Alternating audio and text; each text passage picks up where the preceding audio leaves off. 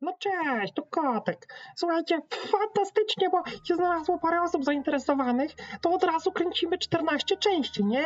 To lećmy z tym koksem. E, I najpierw e, notatka autorki. Dzień dobry przyjaciele, nazywam się Anna Grace. Moje maluszki ostatnio prosiły mnie o czytanie książek o Harrym Potterze. Jestem szczęśliwa mogąc im czytać, ale nie chcę, żeby zmieniły się wiedźmy. Więc pomyślałam, czemu nie zrobić parę małych poprawek, żeby te książki były bardziej przyjazne rodzinie. I czemu nie podzielić się przy tym z innymi mamusiami.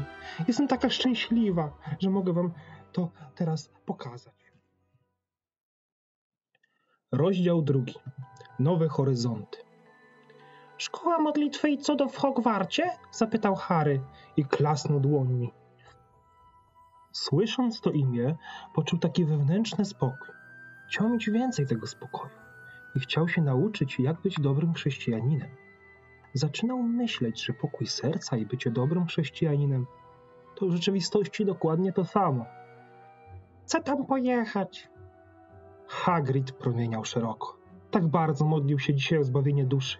I był tak szczęśliwy, że uratował duszę tak słodkiego, szczerego maleństwa. Biedny chłopiec, wychowany przez dwoje rodziców, którzy nie byli chrześcijanami i którzy chodzili do pracy i zostawiali go z opiekunką na cały dzień. Dobrze, że Hagrid dotarł tu na czas.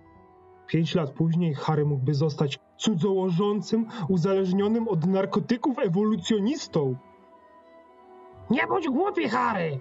rozkazała ciocia Petunia i załamała długie, kościste dłonie. Proś do środka! Przeczytam ci o ewolucji z książek Dawkinsa! Nie potrzebujesz tej głupiej religii! Harry zmarszczył swoją niewinną małą twarz i bardzo mocno się zastanawiał. Ciotka Petunia i wujek Vernon byli niemal jego rodzicami i to był jedyny dom, jaki znał. Czy naprawdę mógł odejść? Ale teraz został zbawiony. Modlił się modlitwą grzesznika. Nie mógł tu zostać, nie z tym, co wiedział teraz. Nagle wiedział, co musi zrobić. Nie, ciociu Petunio, Powiedział spokojnie z dziecięcą mądrością. ewolucja nie jest prawdziwa, a ja idę do Hogwartu. Nie, nie, Harry!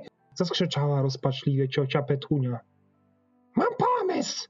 Dziś możesz mieć jeszcze raz urodziny, drugie urodziny. Lubisz urodziny, prawda? Urodziny nie są od Boga. Zwerbalizował Harry porozumiewawczo. A tutaj takie, mm, taka notatka ode mnie, e, że właśnie wiele takich odłamów protestanckich, na przykład mormoni, e, to właśnie uważają, że obchodzenie urodzin jest wprost satanistyczne i że jest grzechem. Taka notatka na boku. Mm. I Harry spojrzał na ciotkę z niewinną mądrością. Próbowałaś mnie skorumpować, ale to nie zadziałało. Ale wybaczam ci, ciociu Petunio, z powodu Łukasza 23, 34. Przed chwilą nie wiedział, co są chrześcijanie, a teraz cytuję wersy z Biblii. Hagrid, Hagrid po raz kolejny był zdumiony mądrością maluczkich. Nie wiedział, czy mógłby wybaczyć komuś, kto zranił go tak bardzo, jak ta kobieta skrzywdziła małego Harego. Odmówić mu prawdy? Kto mógłby być tak okrutny? Ale Harry nawet się nad tym nie zastanawiał. Przebaczył, tak po prostu. Zaprawdę Hagrid zyskał nowe zrozumienie Mateusza 19-14 tego dnia. Nie odchodź, Harry! Dudley zawodził dziecinnie. Muszę, Powiedział Harry i przekroczył próg. żegnajcie, Dursleyowie. Mam nadzieję, że pewnego dnia i wy zostaniecie zbawieni. I tak on i Hagrid zaczęli iść Private Drive. Jak dotrzemy do tej szkoły, Hagrid? Harry zapytał z zaciekawieniem. Będziemy się modlić, odparł Hagrid z porozumieniem. Jak to zrobimy? Harry poprosił dociekliwie. Oglądaj, powiedział Hagrid, a potem padł na kolana na drodze. Dał Haremu znak, żeby ten padł na kolana. Hagrid podniósł ręce do nieba i zawołał głębokim, grzmiącym głosem. Drogi panie, zabierz nas do Hogwartu!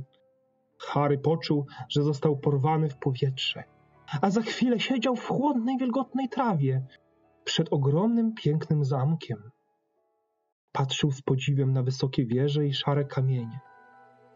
Co za piękne miejsce! Wysoki, szczupły mężczyzna z długą, spiczastą brodą i wielkimi drucianymi okularami stał przed Harym. Miał na sobie brązowy, tweedowy garnitur i ładny, dopasowany kapelusz. Jego buty były wykonane ze skóry i wypolerowane aż błyszczały. Miał uśmiech podobny do uśmiechu Hagrida. Tak spokojny, Harry po prostu wiedział, że można mu zaufać.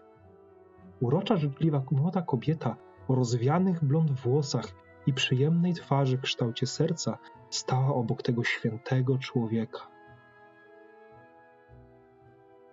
Cześć mały, przywitał się przyjaźnie mężczyzna. Jestem wielebny Albus Dumbledore, a to jest moja żona Minerva. Witamy w szkole modlitwy i cudów w Hogwarcie.